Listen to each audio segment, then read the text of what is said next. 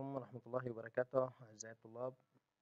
اليوم سوف نكون على موضوع جديد من مبادئ المحاسبة المالية حيث انتهينا في المحاضرة السابقة من الإطار الفكري للم... أو من الإطار النظري للمحاسب... لمبادئ المحاسبة المالية. واليوم سوف نكون مع موضوع جديد وهو قواعد التسجيل المحاسبي. ونهدف في هذا الجزء أو في هذا الفصل إلى تعريف الطالب بالأساليب والقواعد والإجراءات المحاسبية المتبعة في مختلف المعاملات المالية للشركة. حيث ترتكز المحاسبة في تسجيل معاملتها على مجموعة من القواعد والأساسيات. كما ذكرنا أنه لا بد أن تكون هناك قواعد وأساسيات تنظم عمل الإجراءات المحاسبية. وهناك حيث تتمثل قواعد التسجيل المحاسبي للمعاملات المالية في أربع طرق التي هي معادلة الميزانية الذي ما هي تسمى معادلة الميزانية الحسابات كأساس لتسجيل المعاملات القيد المفرد القيد المزدوج. أو قاعدة القيد المزدوج. إذا اليوم سوف نأخذ الطريقة الأولى وهي معادلة الميزانية. وسوف نفهم ما هي معادلة الميزانية وكيف يتم التعامل معها وكيف طريقة التسجيل بإذن الله تعالى. إذا بسم الله الرحمن الرحيم. معادلة الميزانية نبدأ. معادلة الميزانية كما وضحنا في الإطار الفكري أو في الإطار النظري للمحاسبة إن من أغراض المحاسبة المالية هي تسجيل المعاملات المالية. إن من أغراض المحاسبة هو تسجيل المعاملات المالية ثم تبويبها وترحيلها وترصيدها وإعداد مجموعة من التقارير. إذا المحاسبة هي تعمل على إعداد مجموعة من التقارير. ما هي هذه التقارير وما فائدتها؟ إذا التقارير هذه هذه نعرف من خلالها نتيجة آه، نشاط المنشأة وقائمة آه، والموقف المالي للشركة أو المركز المالي للمنشأة. إذا مجموعة من التقارير ما هي هذه التقارير؟ هناك العديد من التقارير ولعل أهم هذه التقارير تتلخص في قائمة المركز المالي الذي يمثل الموقف المالي للشركة في لحظة زمنية معينة والتي يمكن للإدارة من خلال آه، من خلال والأطراف الأخرى من خلال هذه التقارير معرفة نتيجة نشاط الشركة في لحظة زمنية معينة وكما قلنا لعل ولعل أهم قائمة هي قائمة المركز المالي أو لعل أهم تقرير هو قائمة المركز المالي وهي من أهم مخرجات المحاسبة المالية حيث تعرف قائمة المركز المالي أو فلسفة قائمة المركز المالي بأنها عبارة عن كشف يظهر حالة الأصول والالتزامات وحقوق الملكية. إذا قائمة المركز المالي تركز على ثلاث على ثلاث أشياء التي هي الأصول والالتزامات وحقوق الملكية. ماذا يقصد بالأصول والالتزامات وحقوق الملكية؟ وهذا ما سنعرفه لاحقا. إذا أنا من هذه القائمة أو قائمة المركز المالي أو تقرير آه تقرير قائمة المركز المالي أو ما يسمى بالميزانية العمومية هي تعرض لي ثلاث ثلاث أشياء الأصول والالتزامات وحقوق الملكية. متى؟ في لحظة زمنية معينة عادة ما تكون نهاية السنة. ونعرض لكم بشكل مبسط لقائمة المركز المالي أو ما يسمى بالميزانية. إذا قائمة المركز المالي تتكون كما قلنا هنا من ثلاثة أشياء أصول التزامات حقوق ملكية. طيب إذا هنا الأصول الأصول المتداولة صندوق بنك مدينون أوراق مالية مخزون آخر المدة إجمالي الأصول المتداولة هذا إجمالي التجميع. الأصول الثابتة وتعتبر أيضا من تفريعات الأصول مباني سيارات أثاث وهذا إجمالي الأصول الثابتة.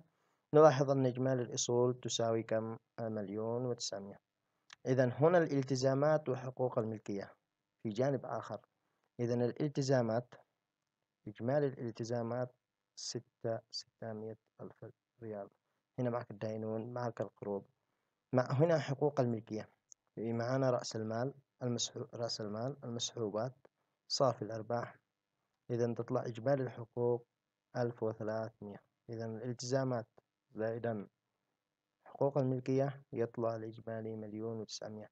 إذا نلاحظ من هذه القائمة نلاحظ من هذه القائمة لو نظرنا إلى هذه القائمة التي هي قائمة المركز المالي لاحظنا أن إجمالي الأصول مليون وتسع وإجمالي الالتزامات وحقوق الملكية مليون وتسع.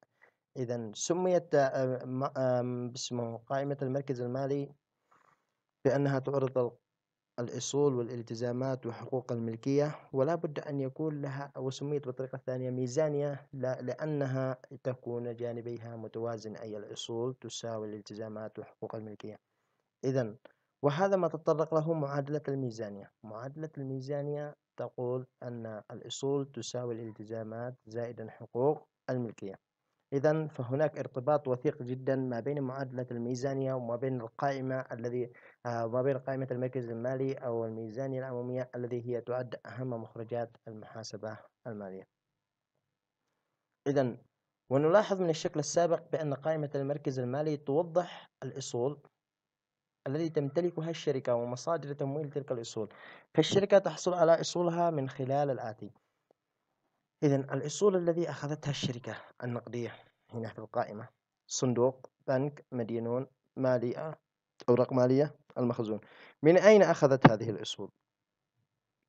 من أعطاها هذه الأصول وما مصادر الحصول عليها؟ كذلك المباني السيارات الأثاث ما مصادر الحصول على هذه الأشياء من أين أتت؟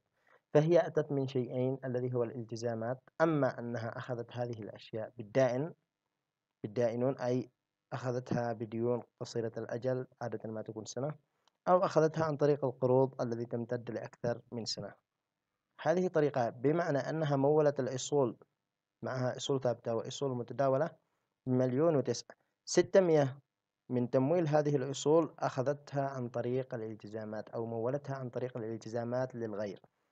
أما مليون وثلاثمية كان نتيجة عن حقوق الملكية أي عن المساهمين أو الملاك الذي قاموا بفتح هذا المشروع. أو فتح هذه الشركة أو فتح هذه المنشأة. إذا الأصول مليون وتسعمية ما قيمته ستمية هي عبارة عن ديون للغير أو أن هذه الأمو... أن الأصول تم اشتراءها أو أخذها بالآجل من الغير بمقدار ستمية. والمتبقي مليون وثلاثمية تم تمويله عبر رأس المال عبر حقوق المساهمين أو الملاك. إذا كما قلنا هنا أن قائمة المركز المالي توضح الأصول التي تمتلكها الشركة ومصادر تمويل تلك الأصول فالشركة تحصل على أصولها من خلال الآتي واحد الملاك المساهمين. تحصل على أصولها من خلال الآتي الذي هو واحد الملاك والمساهمين. بمعنى ال... ويعتبر الملاك والمساهمين هم أصحاب الشركة الذين قاموا بدفع المبالغ بدأ الذين قاموا بدفع المبالغ نقدية أو عينية من أجل تمويل الشركة أو تمويل المنشأة وتمثل هذه المبالغ في حقوق الملكية. الغير وما يسمى بالالتزامات أي التمويل عن طريق الغير. إذا وتعبر الالتزامات عن المبالغ النقدية أو العينية التي ليست من أملاك المساهمين ويتم تمويلها أو تمويل ويتم تمويل جزء من الأصول من خلالها. وفي قائمة المركز المالي لا بد أن يتساوى مجموع الأصول مع مجموع الالتزامات كما لاحظنا سابقا وحقوق الملكية ويمكننا التعبير عن قائمة المركز المالي الميزانية أو كما قلنا الميزانية العمومية بصورة معادلة رياضية طرفها الأيمن مساو لطرفها الأيسر والذي تطلق عليها معادلة الميزانية أو معادلة المحاسبة التي هي الأصول تساوي الالتزامات زائدا حقوق الملكية. إذا قواعد التسجيل المحاسبي سوف نتطرق اليوم كما ذكرنا إلى معادلة الميزانية ومن خلال ما ذكرنا سابقا حتى توصلنا إلى أن المعادلة الميزانية تساوي الأصول يساوي الأصول تساوي الالتزامات زائدا حقوق الملكية. إذا ما هي الأصول وما هي الالتزامات؟ وما هي حقوق الملكية؟ إذا وهذا ما يجب أن نوضحه للطالب لكي يقدر على التفريق الإلمام بالمحاسبة المالية بإذن الله تعالى. إذا سوف نبدأ بالشرح. ما هي الأصول؟ الأصول هي بمثابة الموارد الاقتصادية هي عبارة عن موارد اقتصادية التي تمتلكها الشركة الذي تمتلكها الشركة ويمكن قياسها بوحدة النقد وتمكن الشركة من الحصول على منافع اقتصادية سواء بالحاضر أو في المستقبل. إذا الأصول بشكل عام الأصول بشكل عام هي عبارة عن موارد اقتصادية تمتلكها الشركة والتي يمكن قياسها بوحدة النقد ويمكن للشركة أن تحصل من خلالها على منافع اقتصادية سواء في الحاضر أو في المستقبل وتنقسم الأصول آه، تقسيمات الأصول تنقسم إلى أصول متداولة. أصول ثابتة كذلك أصول غير ملموسة. إذا هذه هي أنواع الأصول. ما هي الأصول الثابتة وما هي الأصول المتداولة وما هي الأصول غير الملموسة؟ إذا الأصول المتداولة الأصول المتداولة وهي الأصول التي وهي عبارة عن الموارد التي تمتلكها الشركة في صورة نقدية أو يمكن تحويلها إلى نقدية بسهولة أو تباع أو تستهلك خلال سنة مالية واحدة أو فترة مالية محاسبية واحدة. ما هي مثل ماذا؟ مثل النقدية في الصناديق النقدية في البنوك أوراق القبض المدينون مخزون البضاعة آخر المدة الأوراق المالية الإيراد المستحق المصروف المقدم وهذه هي تمثل عبارة عن أصول متداولة لأنها عادة تكون فترة بقائها في المنشأة لأقل من سنة مالية واحدة أو لأقل من فترة مالية محاسبية عادة ما تكون الفترة المحاسبية سنة أو آه، الأصول التي يمكن تحويلها إلى نقدية بصورة سريعة وهذه يطلق عليها أصول متداولة. طيب آه ثانيا ما هي الأصول الثابتة؟ الأصول الثابتة هي كذلك عبارة عن موارد.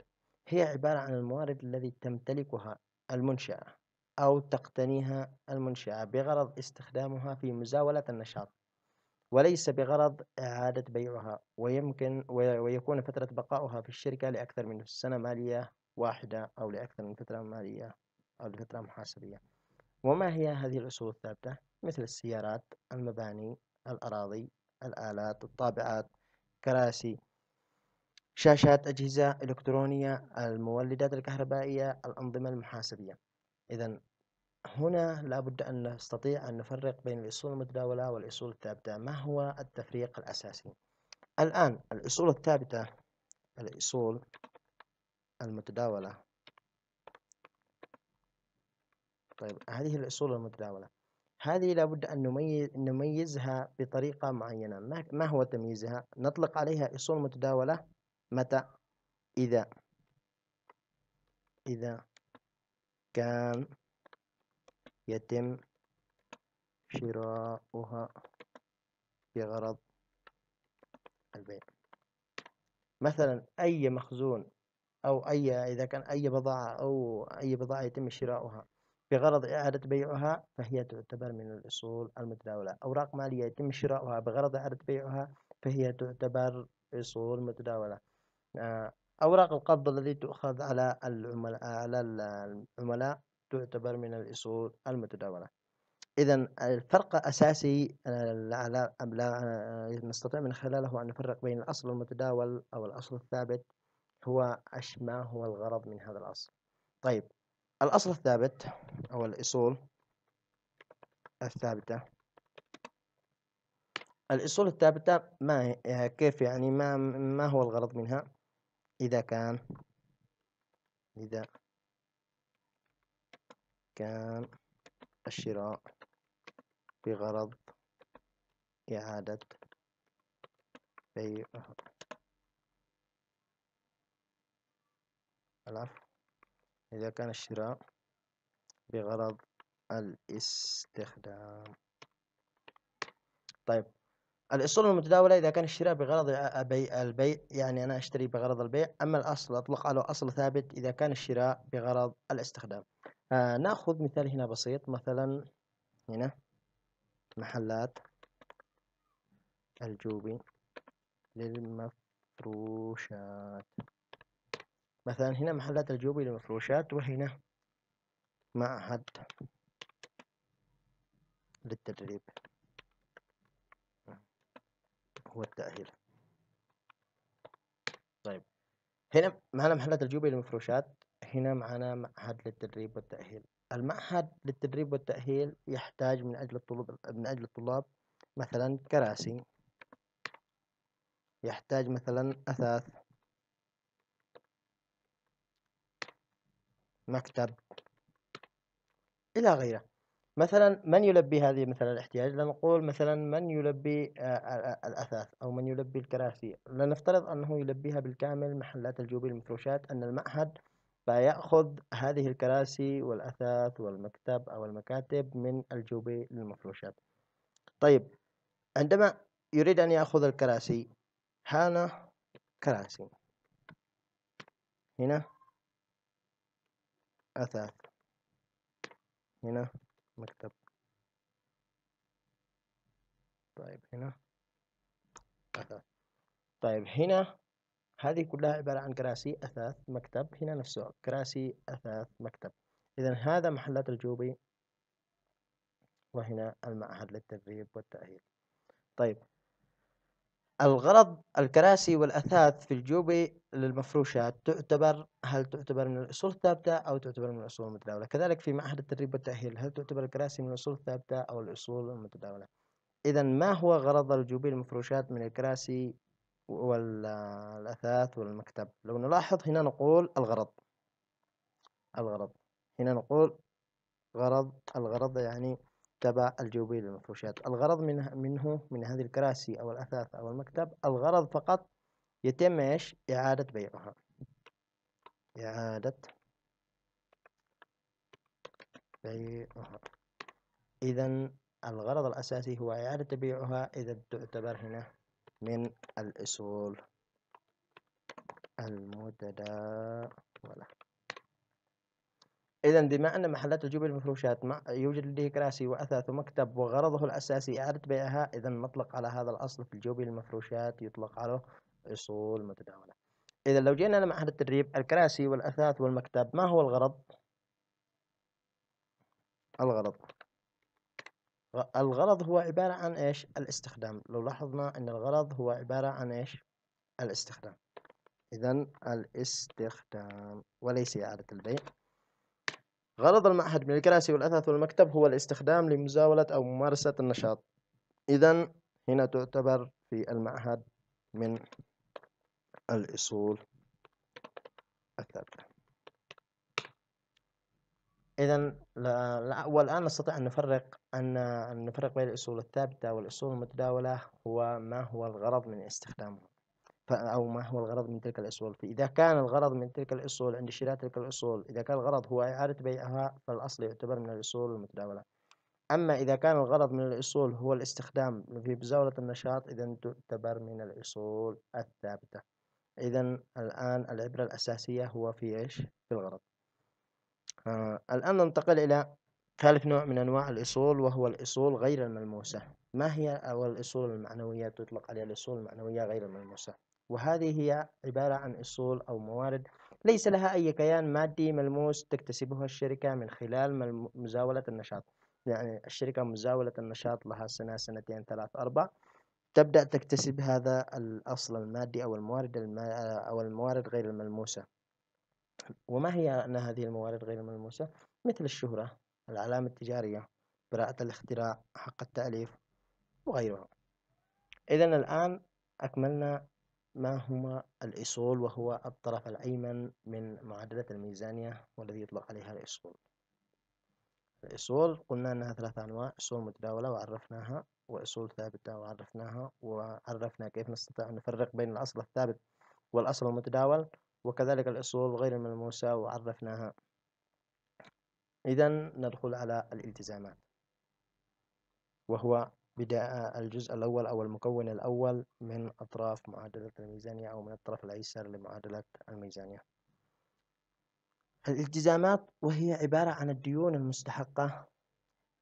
التزام ما معنى التزام عندما أقول أنا علي التزام لشخص معين أو لجهة معينة إذا هي عبارة عن مبالغ مادية قد يجب علي سدادها. إذا نستطيع أن نعرف الالتزامات هي عبارة عن الديون المستحقة على الشركة نتيجة لشراء السلع أو الخدمات على الحساب أو نتيجة لقيام الشركة باقتراض مبالغ معينة. هذا التعريف آه، ما هو الالتزامات؟ نعيده مرة أخرى. قلنا هي عبارة عن الديون المستحقة على الشركة نتيجة لشراء السلع أو الخدمات على الحساب. أنا أشتري على الحساب يعني بالآجل ما أدفع. أو نتيجة لقيام الشركة باقتراض مبالغ معينة من الغير. تمام.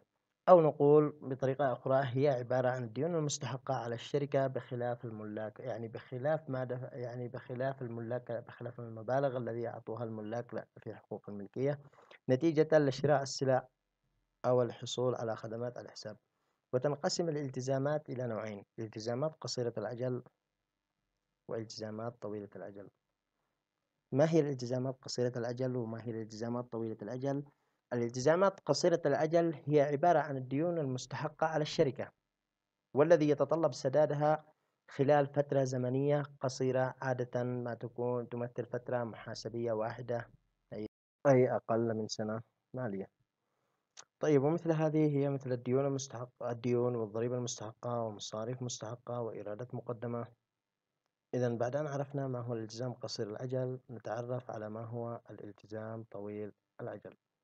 الالتزام طويل الأجل هي تلك الالتزامات أو هي عبارة عن الديون المستحقة على الشركة والتي لا يتطلب سدادها خلال فترة زمنية قصيرة وعادة ما تستمر هذه الديون لأكثر من فترة محاسبية أو لأكثر من سنة مالية. يعني ليس من الشرطة الأساسية أن تتم سدادها في أقل من سنة مالية أو أقل من 12 شهر. وهذه الالتزامات مثل القروض أي القروض التي تؤخذ لفترة سنتين ثلاث أربع خمس سنوات والتي تسمى بالإلتزامات طويلة الأجل. إذا والعبرة والتفريق ما بين الإلتزام طويل الأجل والإلتزام قصير الأجل هو فارق المدة أو فارق مدة السداد اللازم أنه يتم سداد هذا المبلغ. فالإلتزامات قصيرة الأجل تكون موعد استحقاقها في أقل من سنة مالية أما الإلتزامات طويلة الأجل لا يتطلب سدادها في أقل بمدة أقل من سنة مالية. يمكن أن تستمر لسنة وأكثر سنتين ثلاث سنوات وهكذا. الآن بعد أن عرفنا المكون الثاني أو المكون الأو المكون الثاني من مكونات معادلة الميزانية والمكون الأول من الطرف الأيسر لمعادلة الميزانية سوف نتعرف على الطرف الثاني. ما هو حقوق الملكية؟ ما هي حقوق الملكية؟ وما معناها في معادلة الميزانية؟ إذا حقوق الملكية هي بمثابة هي بمثابة قيمة أو حصة صاحب المنشأة أو حصة صاحب آه، أو حصة الشركاء المساهمين في المنشأة. وهي ما تمو... هي حصة المساهمين الذين بالجزء الذي قاموا بتمويل أصول الشركة كما شرحنا سابقا في قائمة المركز المالي. قلنا إن في بعض الأصول تم تمويلها من خلال الديون الذي هي عبارة عن الالتزامات. وهنا تم والبعض الآخر تم تمويلها عن طريق حقوق الملكية والذي هي حصة المساهمين والذي ما يطلق عليها عبارة عن حصة المساهمين الملاك في أصول الشركة والتي ساهموا بها في تمويل النشاط. ويمكن التوصل آه، آه، من معادلة الميزانية الأصول تساوي الالتزامات زائدا حقوق الملكية. فإذا كانت معي قيمة الأصول الأصول.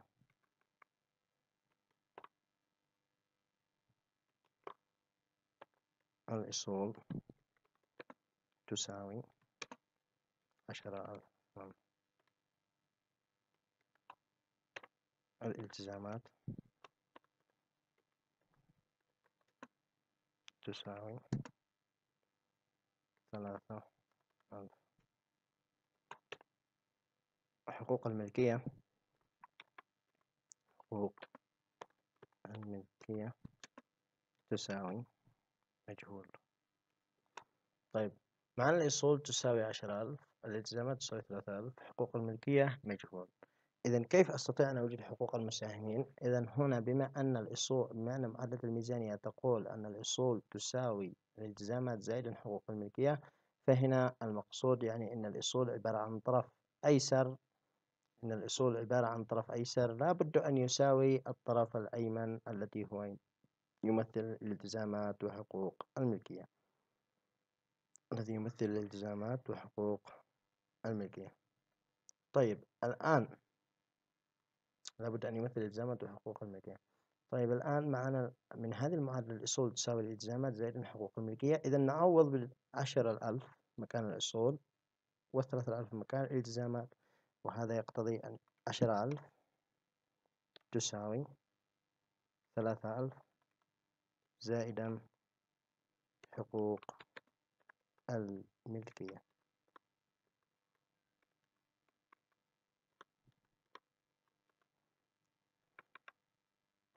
هذه الحقوق الملكية.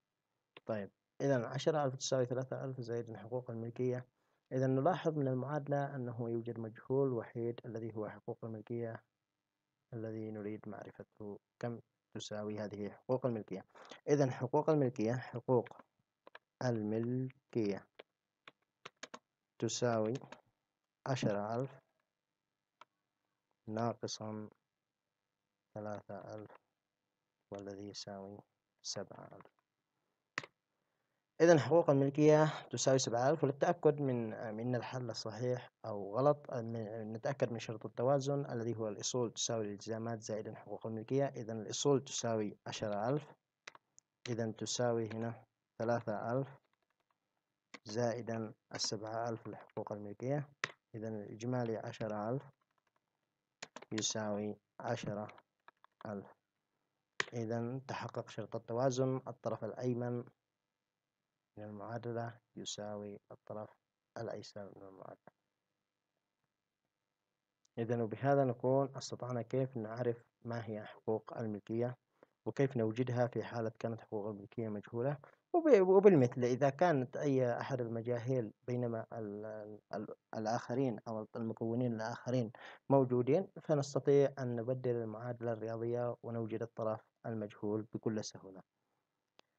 لكن هذه حقوق الملكية تتأثر بالعديد من العوامل.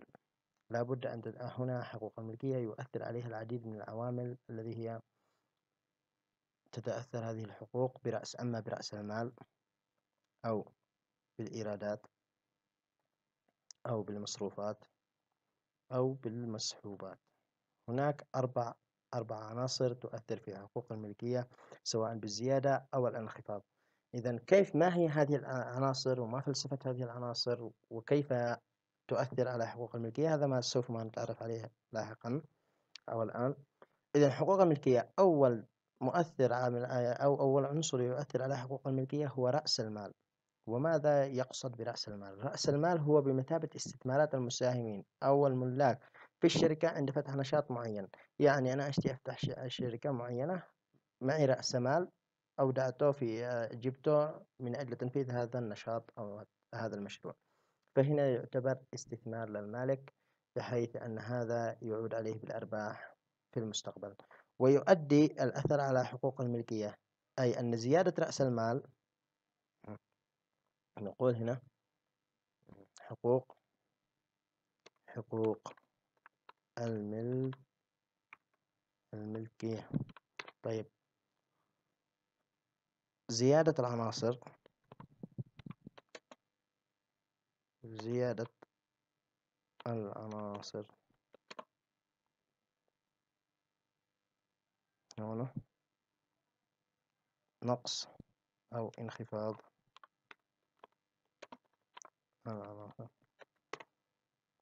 طيب. حقوق الملكية هنا في معك زيادة العناصر انخفاض العناصر. أول عنصر من العناصر هو رأس. المال. رأس المال. إذا رأس المال الذي هو أول عنصر من العناصر العناصر التي تؤثر على حقوق الملكية. في حالة زيادة هذا العنصر هنا يؤدي إلى زيادة حقوق الملكية. إذا في حالة زيادة عنصر رأس المال إذا يؤدي إلى زيادة حقوق الملكية. إذا في حالة انخفاض هذا العنصر يؤدي إلى انخفاض حقوق الملكية. إذا بمجرد ما يزيد رأس المال أعرف أن حقوق الملكية زادت وبمجرد ما ينخفض أعرف أن حقوق الملكية انخفضت. إذا العنصر الثاني من العناصر الذي تؤثر في الذي تؤثر في حقوق الملكية هو عنصر الإيرادات. هو عنصر الإيرادات. وما هي هذه الإيرادات؟ الإيرادات هي عبارة عن الدخل الذي تحققه الشركة. إذا دخل مبالغ مالية تحققه الشركة. عن نتيجة عن إيش؟ نتيجة لمزاولة النشاط خلال فترة محاسبية. ومثل هذه هي إيرادات آه، قيمة المبيعات. من إيراد الدخول إيرادات قيمة المبيعات قيمة الخدمات المقدمة للغير فوائد الودائع. إلى آخر أي دخول تحقق للشركة إيرادات فهي تعتبر آه، تحقق للشركة دخل مادي فهي تعتبر من الإيرادات. إذا الإيرادات العنصر الثاني الإيرادات. بزيادة هذا العنصر عندما يزيد الإيرادات كذلك تزيد حقوق الملكية بشكل تلقائي عند زيادة الإيرادات. إذا في حالة الانخفاض كذلك في حالة الانخفاض الإيرادات تنخفض حقوق الملكية. طيب العنصر الثالث من العناصر الذي تؤثر على حقوق الملكية الذي هو المصروفات. طيب العنصر الثالث هو المصروفات. ما هي هذه المصروفات؟ المصروفات هي عبارة عن المبالغ المستنفدة أو الأصول المستهلكة بغرض الحصول على إيرادات. يعني أنا مبالغ أصرفها رواتب أجيبها آه، مشتريات آه، أدفع بس أدفع مشتريات علشان أرجع أبيع. كذلك المصاريف النفقات على هذه المشتريات. المصاريف النفقات المرتبات والأجور الإيرادات أي مصاريف أصرفت بغرض أنه تحقق لي بعدين آه، أحصل من خلالها في الفترة المحاسبية على إيرادات. ومثل هذه المصروفات قلنا مصاريف الإيجار مصاريف الإهلاك مصاريف المرتبات والأجور إلى آخر. هناك الكثير من المصروفات ولا تنحصر في مجال معين. إذا هذه المصروفات بزيادتها إيش تعمل بزيادة هذه العنصر؟ انخفاض. حقوق الملكية. إذا في حالة زادت المصروفات إذا يؤدي إلى انخفاض حقوق الملكية. وفي حالة انخفاض العناصر يؤدي إلى زيادة حقوق الملكية. إذا هذه المرحلة الثالثة أو العنصر الثالث الذي يؤثر على حقوق الملكية فهو يأخذ طريقة عكسية على رأس المال والإيرادات الذي هي تكون هنا طردية علاقة طردية. هنا طردية لأنها بزيادتها تزيد حقوق الملكية. إذا هون العلاقة أقول هنا العلاقة. هنا طردية وهنا طردية هنا نقول علاقة عكسية. العنصر الرابع من العناصر الذي يؤثر على حقوق الملكية وهو عنصر المسحوبات. وهو عنصر المسحوبات. إذا عنصر المسحوبات من العناصر الذي يؤثر على حقوق الملكية فيعتبر هذا عنصر المسحوبات هو عبارة عن المبالغ النقدية أو الأصول العينية الذي يقوم بسحبها مالك الشركة لاستخداماته الشخصية خلال الفترة المحاسبية مثل إيجار مبنى مالك الشركة أو سداد كهرباء منزل مالك الشركة. يعني أي مبالغ يأخذها مالك الشركة أو المساهم في الشركة لسداد أغراضه الشخصية لا علاقة لها في النشاط فتعتبر هذه مسحوبات. مثلا في مع الشركة سيارات فأخذ سيارة لاستخداماته الشخصي فهذه تعتبر مسحوبات. إذا إذا أي مبالغ سحبها مالك الشركة أو أي أصول سحبها مالك الشركة فتعتبر هذه من المسحوبات ويكون أثرها على حقوق الملكية كما يلي.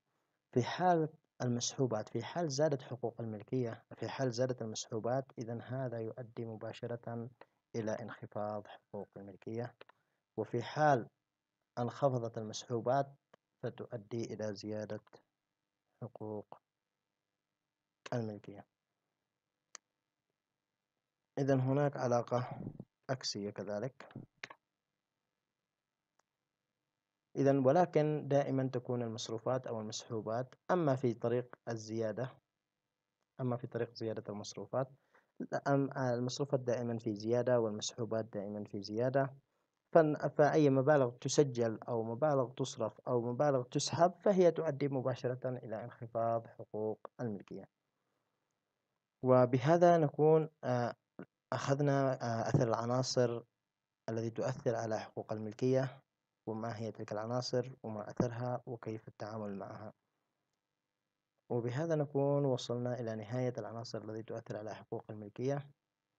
وبالتالي تصبح معادلة الميزانية بشكل أوسع مع فك حقوق الملكية بالعناصر التي تأثرت بها فتصبح حقوق الملكية أو تصبح معادلة الميزانية الجديدة هي الأصول زائدا المصروفات زائدا المسحوبات تساوي الالتزامات زائدا الإيرادات زائدا رأس المال. السؤال لماذا أتت المصروفات والمسحوبات في الطرف الأيمن من المعادلة بينما هي كانت تنشق عن الأصول آه، تنشق عن حقوق الملكية. إذا لو جينا لهنا الأصول الأصول هنا تساوي الأصول تساوي الإلتزامات زائدا حقوق الملكية. نحن قمنا بفك حقوق الملكية. قلنا حقوق حقوق الملكية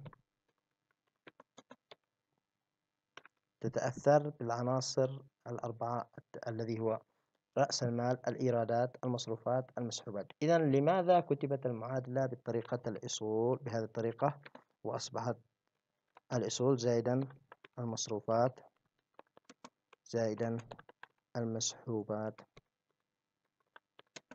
تساوي زائد المسحوبات. تساوي الالتزامات.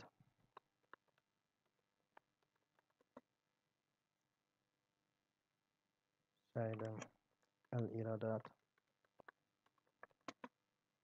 زائدا حقوق أو رأس المال. إذا ليش أصبحت المعادلة بهذه الطريقة؟ الأصول زائد المصروفات زائد المسحوبات تساوي الالتزامات زائد الإيرادات زائد رأس المال. بينما أن العناصر الأربعة المصروفات والمسحوبات. والإيرادات ورأس المال هما منشقين من نفس حقوق الملكية. لماذا لم يأتيا في الجانب الطرف الآخر؟ قلنا المصروفات كما وضحنا سابقا قلنا المصروفات والمسحوبات هي دائما في زيادة. لا يمكن أن تنخفض لا يمكن أن تكون آه، مصارف بالانخفاض. أو يعني بمعنى الآن أنا صرفت ألف لابد إني أسجل إني سحبت ألف. لا ب... ما فيش حاجة اسمها مصروف بالسالب. فلو كان في مصروف بالسالب فيكون هنا في طريق في الجهة الأخرى الذي هو في الجهة السالبة. إذا دائما المصروفات والمسحوبات بالجهة المدينة أو عفوا بالطرف الأيمن في الطرف الأيمن من المعادلة وذلك لأن المصروفات والمسحوبات مرتفعة بطريقة مستمرة لا يمكن أن تكون آه، سالبة المصروفات والمسحوبات أما أن تكون صفر لا يوجد مصروف أو مسحوب وأما أن تكون في طريقة الزيادة الذي هي بالموجب وهذا ما جعل المصروفات والمسحوبات تأخذ الجانب الأيمن من المعادلة فتصبح شرط المعادلة الأساسي بدلا من الأصول تساوي الإلتزامات زائد حقوق الملكية. تصبح معادلة الميزانية بشكلها الموسع الأصول زائد المصروفات زائد المسحوبات. لابد أن تساوي الإلتزامات زائد الإيرادات زائدا رأس المال. إذا وبهذا نكون وصلنا إلى نهاية المرحلة النظرية من معادلة الميزانية. وإن شاء الله سوف نقوم بتطبيق أمثلة عملية على معادلة الميزانية وكيفية التعامل معها في المحاضرة القادمة بإذن الله تعالى. كونوا على موعد معنا إن شاء الله. استودعكم الله. ولم أذكر لمن فاتته المحاضرات السابقة سوف أضعها في صندوق الوصف أسفل الفيديو لهذه المحاضرة. وإلى اللقاء 我也不知道。